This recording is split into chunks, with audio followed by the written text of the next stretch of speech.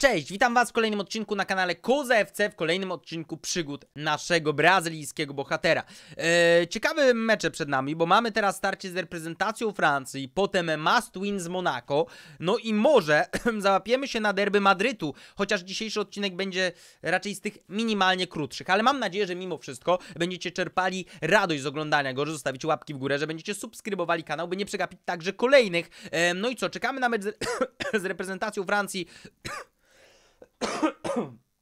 Przepraszam najmocniej. Eee, uff, coś się stało z moim głosem. Ale wydaje mi się, że już teraz wrócił do normy. Eee, gramy w meczu istotnym z punktu widzenia prestiżu, eee, zatem zobaczymy jak Kozinio sobie poradzi. Nie wiem, czy pełny wymiar e, czasowy, ale wiecie jak jest. Gramy tutaj tylko, może nie tylko, ale gramy tutaj głównie po to, e, żeby e, po prostu e, żeby po prostu e, no, no być w tej reprezentacji wtedy, kiedy przyjdą najważniejsze momenty e, i, i to mnie najbardziej interesuje, więc no, no nie chcę popełnić błędu Michaela U e, i to ma dla mnie naprawdę duże znaczenie. Zobaczmy teraz, e, jak ta sytuacja będzie się w ogóle rozwijała w tym meczu, bo na razie e, to zaczyna się to spotkanie bardzo niemrawo z punktu widzenia Brazylii, ale e, rzut rożny to zawsze okazja do tego, żeby skontrować rywali e, i tak na to patrzymy. Ederson, kto jak nie ty ma dać mi teraz idealną? No chyba nie ty jednak. Chociaż Rodrygo jeszcze tam walczy, ale niestety nie wywalczy. Szkoda, bo e, była okazja do tego, żeby tam spróbować e, przechwycić piłkę. Świetnie na, e, świetnie jakby ro- rozwiązana sytuacja w tej...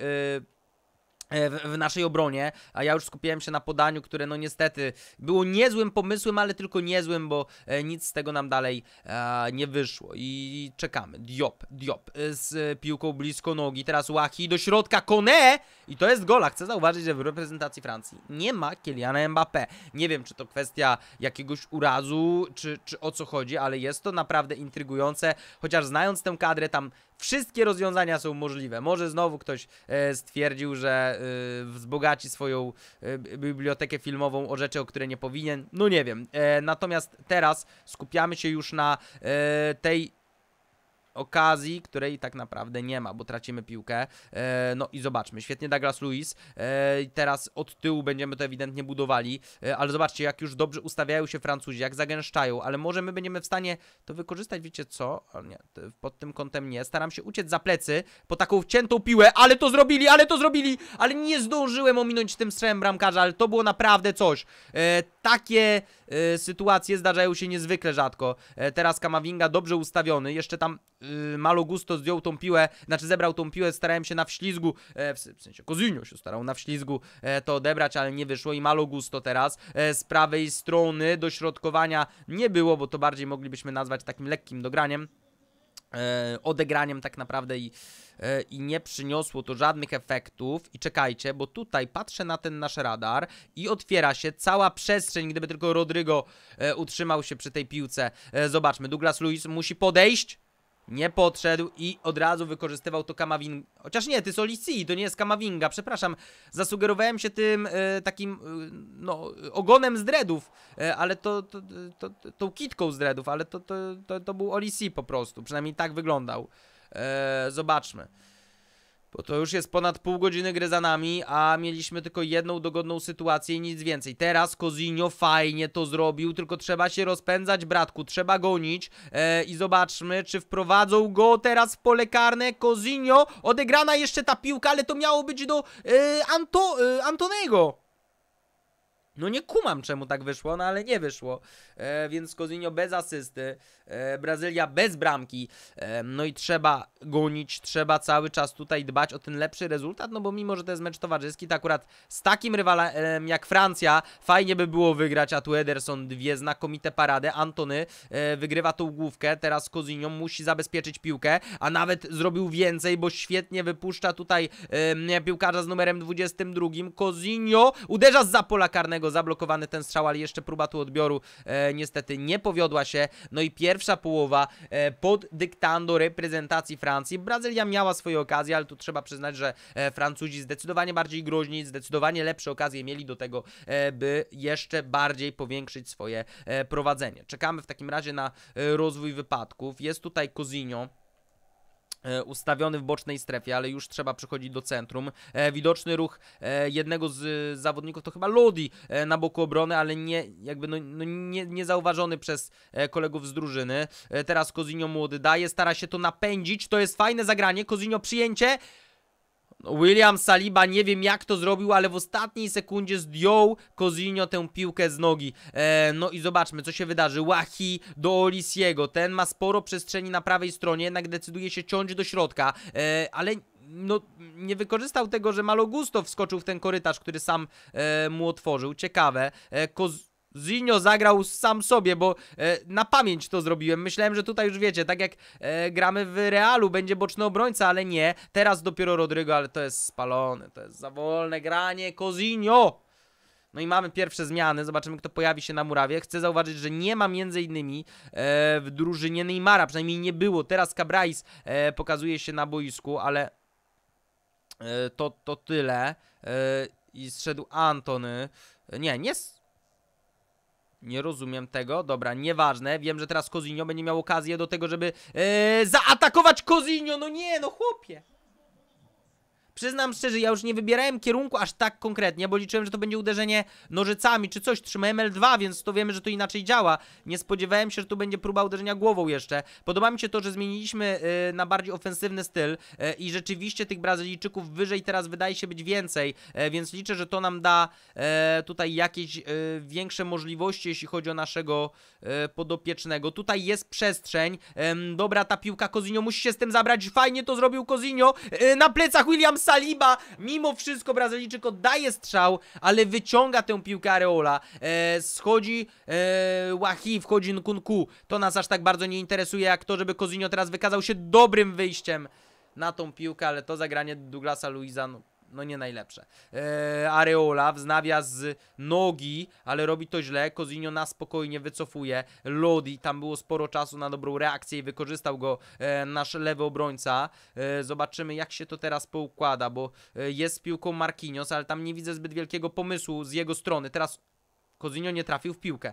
To było zagranie tam, widzieliście to, on po prostu nie trafił e, w piłkę, no ale takie rzeczy się zdarzają e, przy tak ocenionych podaniach, no to musimy zaakceptować, ale Nkunku, on już w takim aspekcie się nie pomyli, z siateczką dał e, pomiędzy nogami Marquinhosa, ale na szczęście e, w bramce Ederson, natomiast Kozinio zostaje zmieniony. E, no i wynik ile? 4-8? Nie, y, 1 do 0, zatem utrzymał się rezultat, co rzadko się zdarza e, w tych e, poczynaniach e, już naszych kolegów po zejściu z boiska. E, No i co? Wydaje się, że zrobimy sobie tutaj oczywiście trening. E, Tak jest, nawet mimo, że muszę go wrzucić jeszcze raz, to tak jak mówiłem w jednym z ostatnich odcinków, normalnie bym to pominął, ale nie. E, Nie mam zamiaru tutaj e, mieć do tego e, podejścia w ten sposób, bo uważam rzeczywiście to jest teraz istotne, e, żeby, no biorąc pod uwagę, że gramy w tak fajnej reprezentacji jak Brazylia, żeby tutaj to wyglądało jak najlepiej, więc ten trening e, jak najbardziej wystarczy, przesymulowany meczek, może tam z Katarem coś, e, coś, coś damy po prostu z symulacji. I to już w ogóle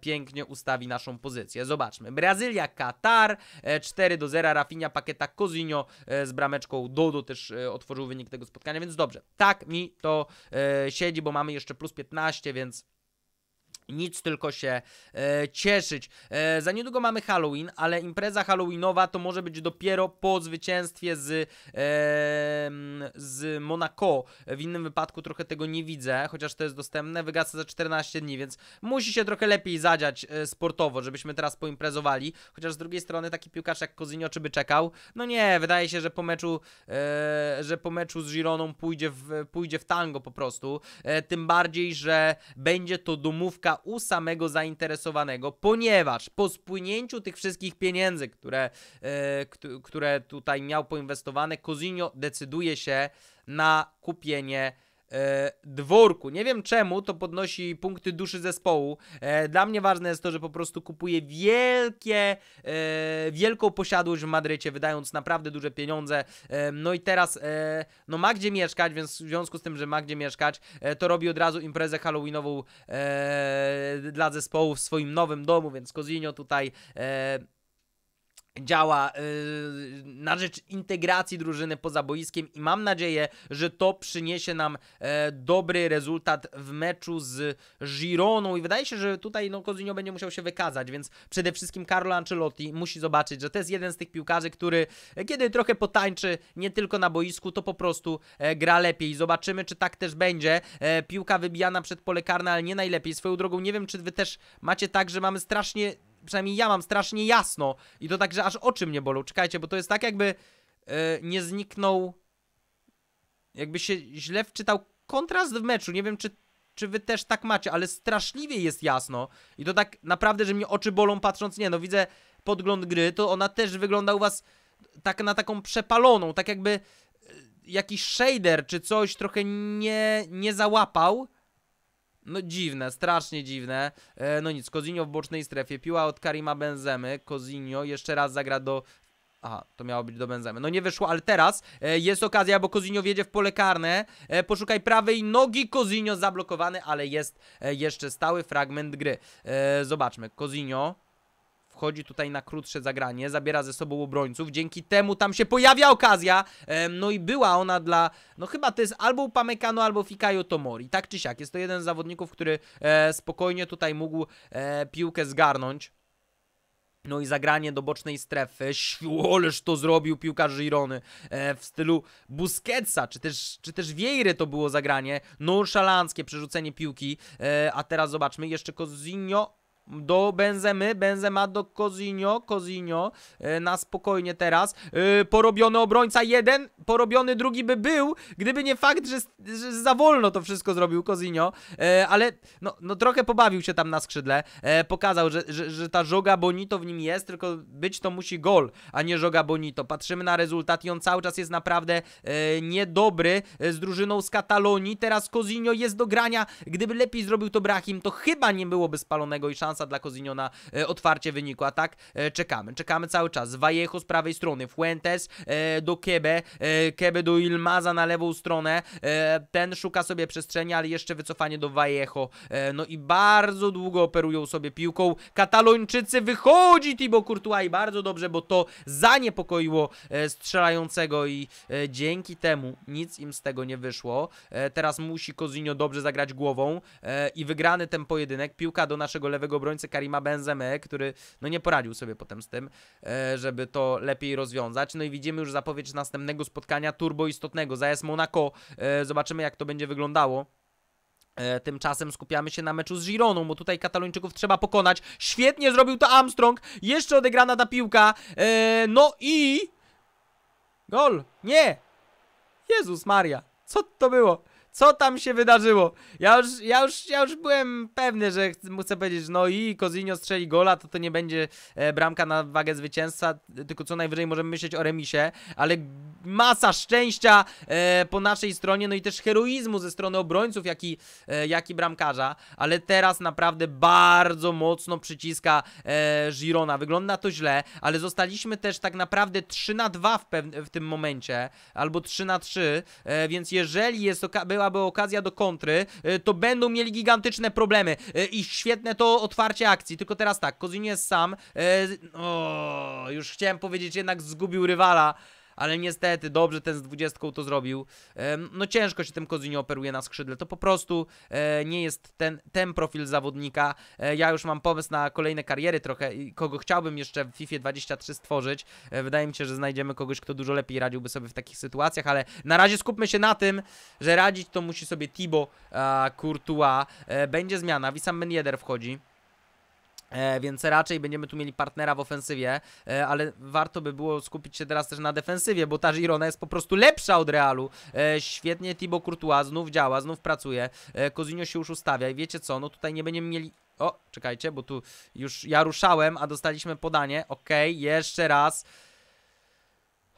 No, no, no ja, ja, nie chciałem tych piłek dostać, bo starałem się wyjść na pozycję i, i dostać piłę za plecy górą, ale no, za każdym razem oni wybierali inne rozwiązanie. No nic, mamy jeszcze tych 5 wirtualnych minut, coś się może tutaj e, zadziać, zobaczymy. Jest e, Armstrong, e, tylko no panowie, trochę, trochę życia w tej obronie. To wygląda naprawdę źle. My sami sobie tutaj zaraz zrobimy psikusa. No, Kozinio nawet chciał się tam podłączyć, a już mu krzyczał wracaj na pozycję. No ale zobaczcie, no nie było spalonego i to musi być gol. Tak nie można grać w piłkę, po prostu. Tak nie można grać w piłkę. E, no i teraz...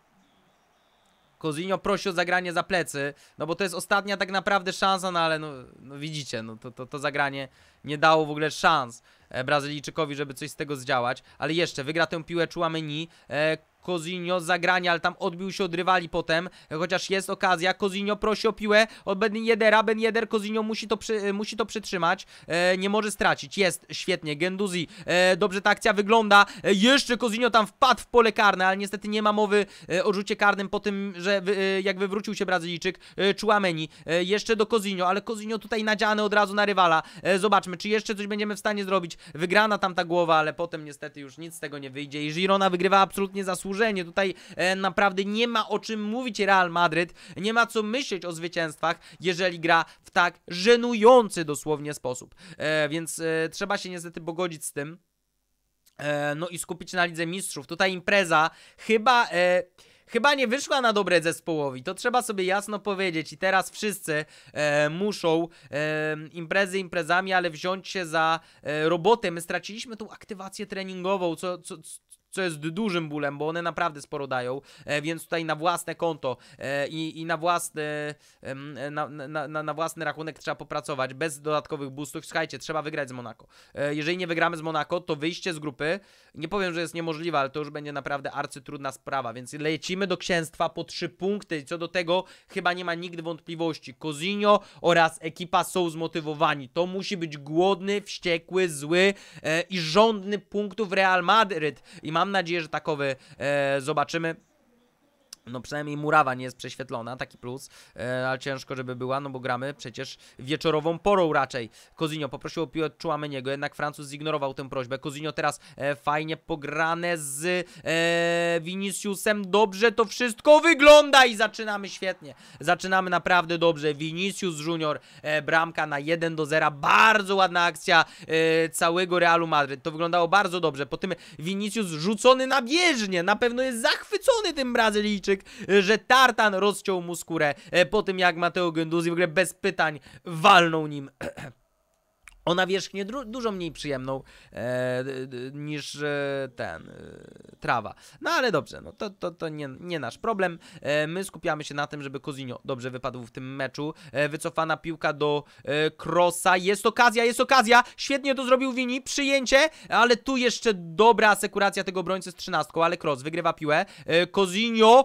Kozinio wypuścił sobie to na strzał z woleja, ale nie wyszło. Teraz Kozinio no nie tak, nie tak, nie tak, nie tak, kolego mój kochany. To, to, to, to miało być znowu tak samo jak przed chwilą. Czasami to po prostu nie łapie. Nie wiem czemu tak to jest zrobione, że to nie łapie, e, ale nie łapie. E, to nie jest oczywiście tabela live. My w tym momencie mamy jeden punkt więcej niż AS Monaco, e, no ale trzeba tutaj wygrać ten mecz, bo jednobramkowa przewaga może nie wystarczyć. Tym bardziej, że teraz Vinicius straci piłkę w tak w stylu Cozinho sprzed paru momentów. No i nie możemy pozwolić się im rozpędzić, bo ma kto się rozpędzić. Między innymi arcyszybki Plata, jest Martial. Martial Martial zablokowany. Swoją drogą ciekawy powrót Martiala do Monaco. E, to naprawdę fajna sprawa. E, Cozinho teraz stara się znaleźć przestrzeń, ale koledzy nie pozwolili mu się rozpędzić. Teraz Cozinho na pełnej prędkości. Przyjęcie idealne. Cozinho, uderzenie Cozinho obok bramki. Ale to było ładne, to było fajne, to było coś. Tutaj to uderzenie z fałsza, e, no, no mogłem niby podać, ale no to jest Cozinho, no w takich sytuacjach jak czuję, że może to uderza. Inni zawodnicy, w sensie inne archetypy, które byśmy budowali, e, mogłyby tutaj e, mieć e, inne podejście, ale, ale nie Cousinho. E, zobaczmy, Vinicius walczy o piłkę e, z Aguilarem. Niestety ten okazał się być lepszy. Plata, teraz Tonej. E, ciekawe nazwisko. Kamar, w sensie jak na piłkarza Monaco, ale w sumie powiem szczerze, jakoś byłbym w stanie sobie historię tego transferu wyobrazić. A teraz dobre wyjście Thibaut Courtois. E, no i prosi o piłę Cozinho. Dostanie ją. E, zgranie do Diaza. Nie, to Asensio, przepraszam. E, Cozinho czeka na wyjście Chouameniego. Fantastyczna piłka. Wyobrażalibyśmy sobie inne rozwiązanie tej sytuacji, e, że to zagrywa Francuz do Brazylijczyka. Teraz Cozinho szuka prawej nogi, ale szukał jej stanowczo za długo. Z cztery kontrakty, e, kontakty w polu karnym. To nie może tak wyglądać. E, tak, tak nie można po prostu grać w piłkę nożną. I, i, i tyle na tym poziomie. I e, musi Cozinho Cozinho e, się poprawić pod tym względem. Wraca Toni Kroos, wraca cała linia defensywna Realu Madryt e, i udaje się powstrzymać tę kontrę, ale cały czas jest groźnie, bo Ivan Tony ma już piłkę w polu karnym, ale świetnie zrobili to e, nasi defensorzy. Da radę Vinicius, e, jest tu Cozinho, fajnie to zagrane e, i szuka tej przestrzeni, ale nie dostanie zagrania, chociaż kurczę, no trend to by mógł akurat to zrobić i zrobił to całkiem nieźle, e, bo utrzymujemy się w posiadaniu. E, Cozinho dużo pracy właśnie w tym, żebyśmy nie stracili tej piłki. E, Trent, możesz zagrać jeszcze przed, super. Cozinho jeszcze przed. E, e, tutaj staramy się rozpakować e, to Monako, ale to podanie nie, nie najlepsze od e, Genduziego. Nie prosiłem o nie. E, zagrał po prostu zwyczajnie niecelnie i kończymy tę pierwszą połowę, gdzie były naprawdę fajne sygnały od naszej drużyny, ale sygnały nie wystarczą. Tutaj potrzebne są jeszcze trafienia, tutaj potrzebne są jeszcze gole, żeby udokumentować to wyjazdowe prowadzenie. To jest nam po prostu e, potrzebne. Zatem wychodzimy na drugą połowę w księstwie z nadzieją na to, że zaczniemy ją przynajmniej tak samo dobrze, jak tę pierwszą odsłonę spotkania. E, zobaczmy, jest Toni Kroos, e, ale na spokojnie, nie rzucamy się tutaj na naszych rywali. E, Toni Kroos do Asensio, e, ten nie da rady z tą piłką e, nic zrobić, ale jest Cozinho, za długo znowu się zbierał do tego strzału. Świetny przechwyt, dobre pozycjonowanie się, e, dobre czytanie gry, które pozwoliło tę piłę przejąć, ale no e, nic więcej, ale teraz Genduzi może zagrać do Cozinho, Cozinho, ale świetnie uprzedzony bodaj przez tego Aguilara. E, mimo wszystko, cały czas atakujemy. Cozinho, e, świetne to zagranie do Asensio, e, jednak potem pogubił się Hiszpan, ale to odegranie Cozinho e, to było coś, co naprawdę mogło odmienić losy tej akcji, bo odwróciło grę, napędziło tempo tej akcji. No to było takie rozegranie, którego spodziewać się można od, od dziewiątki właśnie. E, najwyższego, e, najwyższego tieru, jakim oczywiście jest Cozinho. Teraz rozpędza się Brazylijczyk. E, zobaczymy, czy dostanie tę piłkę, e, ale nic z tym nie będzie mógł zrobić. E, Nacho Fernandez. E, jest jest możliwość zagrania do Cozinho. Zrobił to na raty, ale zrobił to dobrze. Cozinho do Chouameniego. Jest szansa, by uderzył Genduzi, ale jeszcze, jeszcze, jeszcze, jeszcze. Staramy się tutaj rozpakować tę obronę Monaco. E, nie wyszło, ale to jest groźne, bo angażujemy teraz bardzo dużo zawodników, a oni na kontrę piłkarzy mają i na to musimy naprawdę uważać. Cozinho, właśnie o tych kontrach mówię, e, takie straty nie mogą się przydarzyć, ale e, Monaco tak trochę ze strachem chyba poczuli przygniecienie, e, że są przygnieceni tym madryckim butem, przez co nie są tak skorzy nawet do odpowiadania tutaj jakimiś wypadami. Teraz jest okazja, ale złe to zagranie niestety. Aj, od, y, od, od, od, od, od y, y, Viniciusa jest okazja. De, fru, y, de fru, Frutos, nie wiem, czy to jest Regen jakiś, czy prawdziwy piłkarz, wiem jedno, e, pomylił się w tej akcji. E, zobaczmy, Cozinho szuka przestrzeni, ale niestety e, to zagranie od Asensio nie znajdzie Brazylijczyka i też Hiszpan schodzi. Zobaczymy, kto pojawi się e, w jego miejsce. E, obstawiam, że to może być, e, Boże, no, a, Brahim. Ja obstawiałem e, Ben Yedera, e, który zagrałby przeciwko swojej byłej drużynie, a teraz czekamy. Ivan Tony dostaje tę piłę, no nie, nie dostaje, bo nie był w stanie tego przyjąć i e, bardzo dobrze nasza obrona. Genduzi tutaj do Nacho Fernandeza i rozpędza się y, Cozinho, ale to będzie spalony, to będzie spalony, bo Nacho się nie zorientował, ale teraz może to dać Vinicius, tylko musiał to zrobić szybciej, chociaż e, cały czas duża panika widoczna w szeregach e, AS Monaco, e, jest piła do Cozinho, czy nie ma piły do Cozinho? Nie ma piły do Cozinho, ale Brahim, możesz to odegrać. Jest Cozinho i to będzie gol. Tak jest, więc wygrywamy już ten mecz na pewno. Cozinho zdobywa kolejną bramkę. Taka troszeczkę wyżebrana w tej sytuacji, ale dobre zachowanie Brahima. Gdyby oddał piętą, wyglądałoby to dużo lepiej, ale ważne jest to, że ci, którzy przyjechali na, e, sp- e, na stadion w księstwie Monaco, mogą się cieszyć z tego, że Real tutaj wygra na pewno e, i uspokaja tą e, no nieprzyjemną sytuację w Lidze Mistrzów, ale Cozinho chciałby tutaj jeszcze powalczyć o jedno trafienie, no bo oczywiście indywidualne rekordy, ale też ocena meczowa. E, fajnie by było tutaj, e, żeby ona podrosła troszeczkę, żeby można było myśleć o kolejnych punktach. Cozinho z takimi, e, z takimi e, wślizgami to raczej nie ma co myśleć o poprawie oceny meczowej. Jeszcze złapał tam żółtą kartkę na koniec, widzieliśmy, ale słuchajcie, to co istotne, wygrywamy to spotkanie. AS Monaco raczej e, mogło się tego spodziewać po tym pierwszym golu. Oczywiście nadzieje na pewno mieli rozbudzone po tym, w jak słabej dyspozycji e, był Real Madryt, ale w tym meczu e, gospodarze nie oddali nawet celnego strzału, więc to jest naprawdę istotne. Wygrywamy zatem to naprawdę ważne starcie, bo to uspokaja sytuację w Lidze Mistrzów, chociaż oczywiście nie ma co spoczywać na laurach, trzeba będzie o swoje walczyć i będziemy to robili w kolejnych odcinkach. Za dzisiejszy jednak bardzo Wam dziękuję.